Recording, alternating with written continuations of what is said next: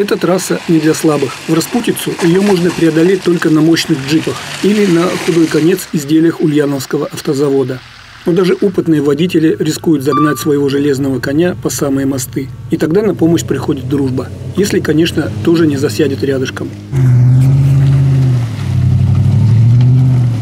Это не репортаж с полигона для испытания внедорожников, где отчаянные водилы с риском для жизни преодолевают препятствия. Это, как ни ужасно, обычная дорога, которой пользуются жители семи СНТ в Новосибирском районе в 30 километрах от областного центра. Больше сотни человек живут там постоянно. Они ездят на работу, отвозят детей в школу, а порой и в больницу. Когда нет дороги, дети вынуждены не посещать э, школу или детский сад. Если дети заболеют, то ну, мы никуда выехать не можем, соответственно, скорая к нам вообще не приезжает, потому что они дорогу не знают, даже там направление. А когда, если кто-то куда-сюда и знает направление, там встречаем возле трассы, например, их и везем до дома. Ну, благо у нас там есть какие-то возможности онлайн, там, врачей и так далее, но только так. Но экстренно, конечно, сами только до трассы доезжаем. Ее правоту подтверждает председатель СНТ, находящийся неподалеку. Проблемы те же. Дети есть, которые в школу возят, и мы ограничены вообще с дорогой. В зимний период это вообще катастрофа. Весна-осень тоже катастрофа. Вот. Скорая помощь тоже не может, даже отказываются ехать, потому что за отсутствие дороги. Пытались сделать автобус, чтобы ходил сюда, но опять же из-за дороги отказался. Удивительно, но дороги это нет в перечне дорог Новосибирской области.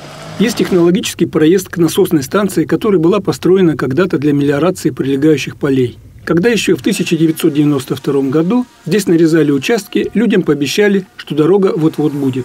И даже были попытки что-то сделать, но успехом, как видим, они не увенчались. Так люди, которые решили променять городское жилье на свежий воздух и переехать сюда с семьями, оказались отрезанными от трассы.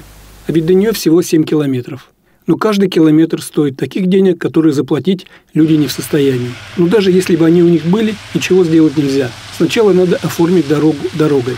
И за прошедшие 30 лет, наверное, это было можно сделать. Главный вопрос стоит землеотведение, чтобы провести реконструкцию дороги. Есть варианты проезда через село Морское, но это отдельно, также надо по развитию внутренних дорог решать вопросы. Да? Мы просим элементарную дорогу, поднять ее обеспечить твердое покрытие, круговичное покрытие, да. И это ведь не дикий поселок. Все участки оформлены должным образом. Многие собственники здесь же и прописаны. Почему власти, которые позволили появиться здесь довольно-таки крупному поселению, не позаботились о том, как в него элементарно проехать? Теперь доведенные до отчаяния люди решили обратиться за помощью к президенту.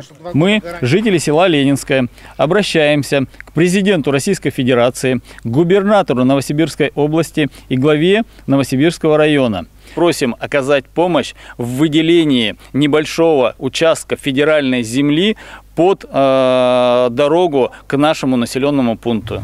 Надо сказать, что реакция последовала мгновенно. Пока со стороны председателя Следственного комитета Александра Бастрыкина, который предложил руководителю Следственного управления по Новосибирской области провести проверку и представить по ее результатам доклад. Теперь надо ждать реакции и от местных властей. Жители надеются, что ждать им будет недолго.